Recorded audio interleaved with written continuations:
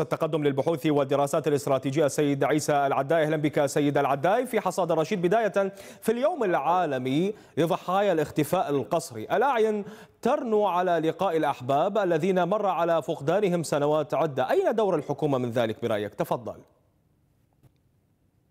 تحياتي لحضرتك ولسادة حياك الله. المشاهدين الكرام. في كل عام هذه المناسبة تكون لنا إطلالة وكل العراقيين الآخرين الذين ينتظرون في هذا اليوم حلا لهذه المشكلة المتجذرة أصبحت في العراق ما يقارب العتب الزمن هناك عراقيون قد اختفوا وهناك عوائل ينتظرون عودة ذويهم وهذه اعتقد في كل القوانين والاتفاقيات الدوليه اتفاقيات الامم المتحده عام 2010 لحمايه الاشخاص من الاتفاق القسري وميثاق روما أيضا هي الدوليه وكل المواثيق والمعاهدات الدولية. عدت هذه هي جريمة ضد الإنسانية لكن لم يصدر من العراق أي ردة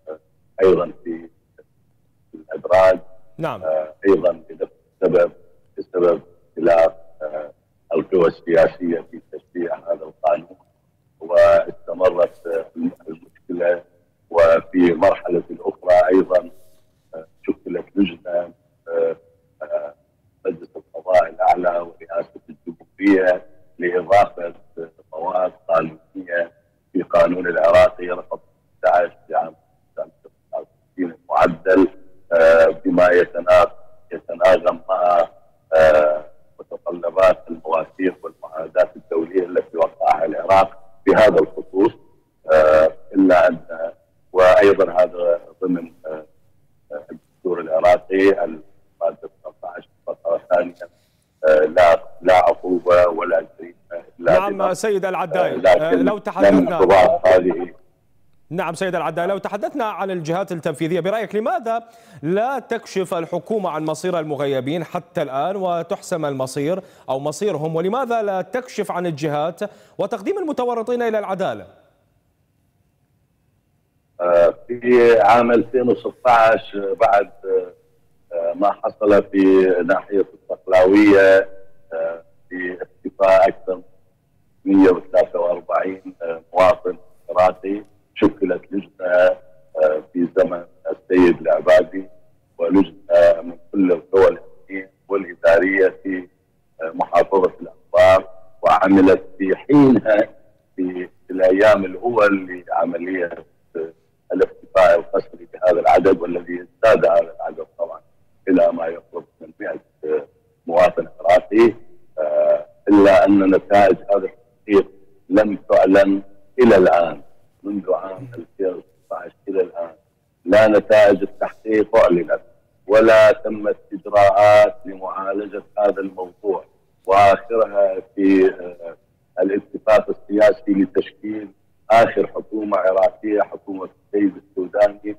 وضع هذا الموضوع ضمن شروط أو البرنامج الحكومي لحكومة السيد السوداني. وصوت عليها البرلمان إلا أن الجهات التنفيذيه والقضائية والجهات الأخرى المعنيه لم تقدم حلا مرضيا لهؤلاء المواطنين العراقيين وهم الآن يعدون بالآلاف وهذه هذا هؤلاء الآلاف لديهم أبناء لديهم عوائل في القانون الدولي حتى عوائلهم يجب أن تحمى ويقدم لهم المعونة ويحفظون حقهم في الحياة وحقهم التعليم نعم. سيد العداي لو سمحت موقفك أو قراءتك لموقف اللجنة الدولية للصليب الأحمر وهي تقول أن أعلى نسبة في العالم تسجل في العراق ويتراوح عدد المغيبين بين 250 ألف إلى مليون شخص. موقف المنظمات الدولية والأمم المتحدة من هذه الأزمة. برأيك هل اكتفت بالأرقام والاستنكارات أم ماذا؟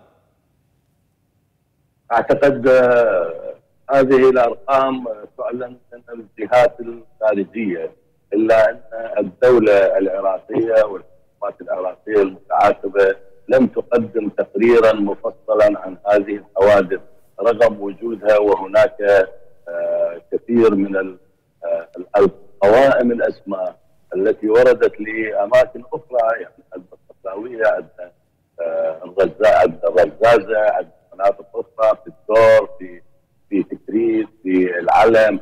كثير من المناطق العراقية هناك فيها آه، اتفاق قسري وهناك قوائم إلا أن آه، الحكومة آه، لم تعلن أي حتى على أسماء هؤلاء المغيبين. و إلى الآن الكلام محدد في الاعلام فقط لا توجد إجراءات حكومية أو قانونيه أو اجتماعيه هذا الحديث يدور في الإعلام وفي منظمات المجتمع المدني. آه، وفي وحتى عندما توضع في البرنامج الذي يصوت عليه البرلمان ويصبح ما يشبه القانون لأنه البرنامج الحكومي عندما يصوت عليه البرلمان هو أقرب ما يكون إلى القانون. يعني واجب التنفيذ إلا أن آه، الجهات الحكومية والجهات الأخرى آه، لا تنفذ هذه. نعم.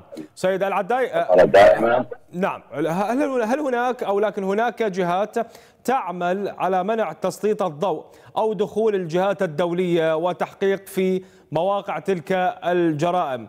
وتستعمل القضية مع بعض السياسيين كورقة ضغط انتخابية آه، بطريقة تخلو من مبادئ الإنسانية.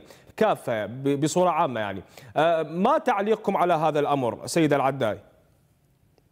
أكيد هناك جهات تعتقد صدور هذه القوانين أو آه، البدء بإجراءات آه، معالجة هذه المشكلة آه، التعصية على تعتقد أنها ستكون ربما متهمة فأكيد تقف في وجه اي اجراء ممكن ان يكون سواء قانون أو اجراءات اداريه أخرى ولهذا نحن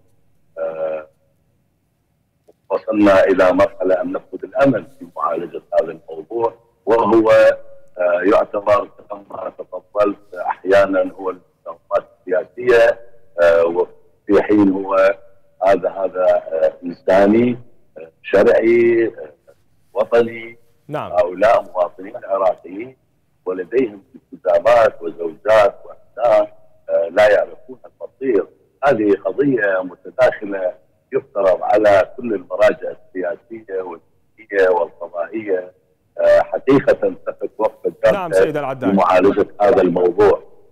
نعم. نعم رئيس مؤسسة تقدم للبحوث والدراسات الاستراتيجية السيد عيسى العداي شكرا على هذه المداخلة في حصاد رشيد.